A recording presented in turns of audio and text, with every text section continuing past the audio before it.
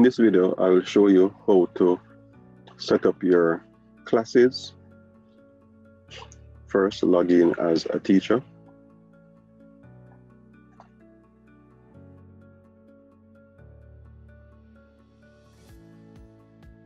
As a form teacher, you may need to pull your students from the holding class. To do this, you select your class from the list. Your class will appear on this window if and only if you were assigned as a form teacher. If you were if you're not seeing your class in the list, check with your grade supervisor.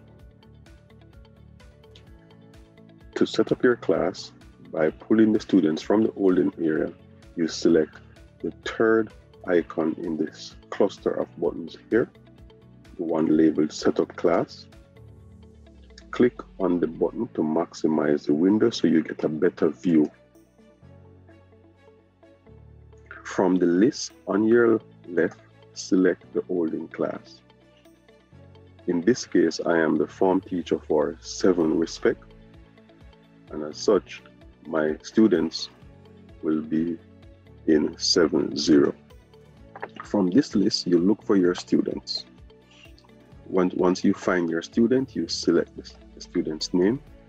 You click on the button, this button right here at the top that says add selected rows. Click on it. The student will be pulled from the list and assigned to the class over to your right. Notice that your class is selected you can sort this list. Let's say you want to sort the list by gender. You can click on the gender column heading and it will sort the students by gender.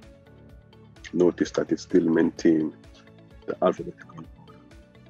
All right.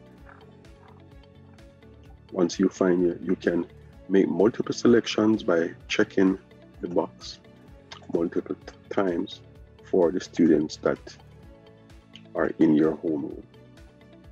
Then you click on the add button to add them all. All right.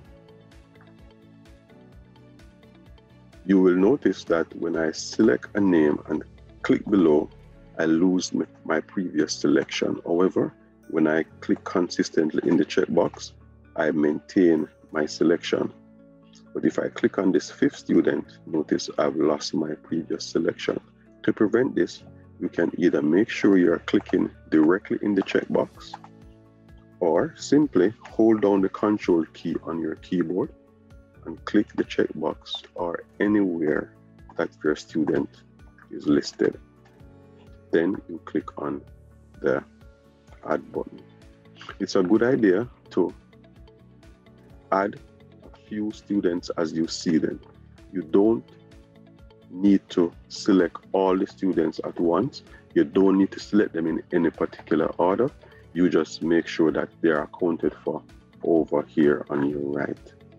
Once you're done, ensure that you click on save before you leave the window, otherwise you will lose your work.